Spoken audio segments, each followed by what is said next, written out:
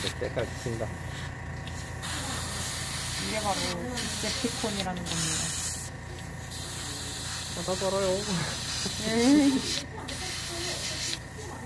얘는 오토봇이 아니잖아. 어, 우리의 적, 공공의 적. 근데 얘마 얘- 얘라서 생기는 그 매력. 이제 사운드 웨이브가 워낙 멋진 녀석이니까. 맨날 얘는 멋진 놈으로 나와요. 이번에 신작 시리즈에 음, 얘 이번에 스텔스기잖아 무인기. 그니까. 아 보고 이야 이건 대박인데 이렇게 밀어주지. 아, 2인자인데. 2인자 아닐걸요? 3인자 세 번째인가?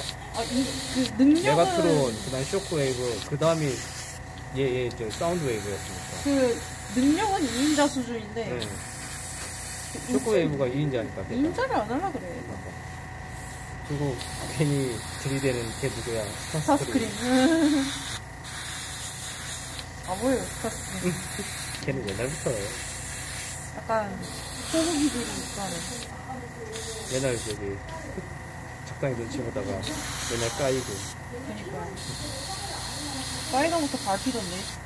항상 얘한테도 갈리는 애인데 참, 그, 애니 보면은, 얘가 되게 스타스크림한테 맞춰서 놀아주는 것 같지 않아요? 그런 것 같아요 진짜 할 줄 아는데 지가 그냥 귀찮아서 안 하는 그러니까 그런 느낌. 귀찮은, 음 그러니까 귀차니즘이 세서 2인자 자리를, 안- 2인자 자리를 안 하고 있는 게 아닐까.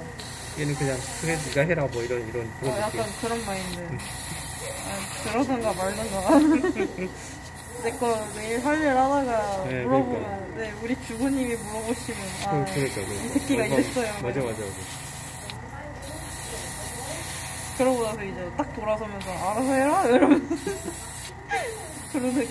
그러니까 메가트론이 레이저 비크를 굉장히 이뻐하잖아요 그, 그래요? 그, 음, 레이저 비크가 이제 첩자 그런 걸 워낙 잘하니까 하긴.